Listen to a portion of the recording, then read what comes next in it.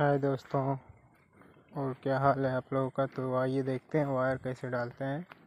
तो आप लोग ही, जैसे ही हो, आप लोग ऐसे ही सपोर्ट करते रहो और सपोर्ट करते रहो, और जो कि आप लोग लाइक और सब्सक्राइब करते हो, मुझे बहुत अच्छा लगता है। और आप लोग ऐसे ही हमारे वीडियो में बन रही है, और वीडियो को पूरा आप लोग देखा करो। और स्किप ना किए करो, क्योंकि आप लोग जानते हो वीडियो बनाने में कितना मेहनत लगता है और जो काम है हार्ड वर्क है इलेक्ट्रीशियन का, मेहनत तो लगता है भाई, कि मतलब बहुत गर्मी पड़ रही है और पसीना तो पसीना हो जा रहा है पूरा। और देखिए वायर कैसे नापा जाता है, देख लो, जिसकी बीम है, ऐसे नाप रहे हैं। और यहाँ से साइड से निकाले हुए हैं। बोर्ड में बैंड किए हैं। तो ये देखिए, अब यहाँ से काट लेंगे। तो अभी कट कर दिए हैं। तो ये देखिए तो अभी हम इस समत हैं, इसमें दो तीन लोग हैं, काम कर रहे हैं। देखिए, वायर को डाल रहे हैं। Steel wire. ये स्प्रिंग वायर है। तो ये देखिए।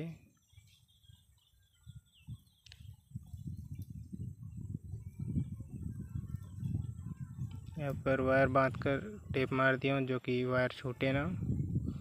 और ऐसे ही आप लोग वीडियो में बन रही है और आप लोग ये बताइए वीडियो कैसा लग रहा है। और मैं इतना मेहनत करता हूँ, आप लोग सपोर्ट करते रहिए भाई। क्योंकि आप लोग ऐसे ही मुझे सपोर्ट करते रहिए। मुझे टेन के सब्सक्राइबर चाहिए अभी, और टेन मिलियन व्यूज़ चाहिए। आप लोग की वजह से मैं आज यहाँ तक पहुँचा हूँ। ऑनलाइन भी आता हूँ, और लाइव भी आता हूँ। लाइव तो जल्दी नहीं आता हूँ भाई। और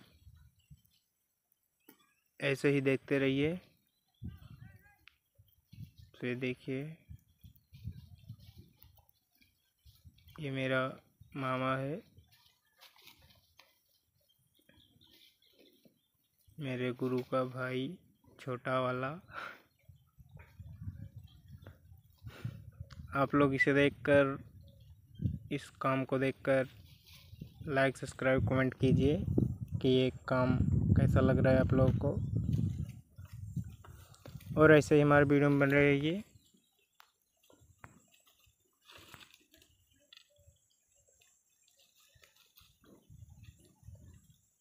तो ये देखिए, वायर को खींच रहा हूँ, फ़ैन से डाल कर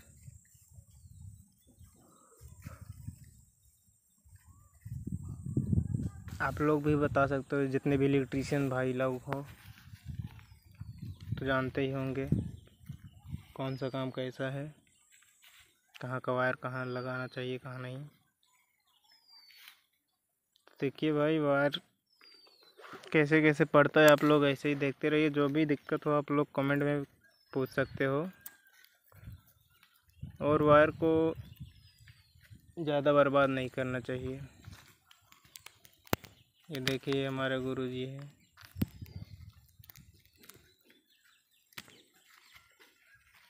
और देखिए, वायर को अभी डाल देंगे। और ये सारा वायर बारह मॉडल के बॉक्स में आएगा, जो दिख रहा है।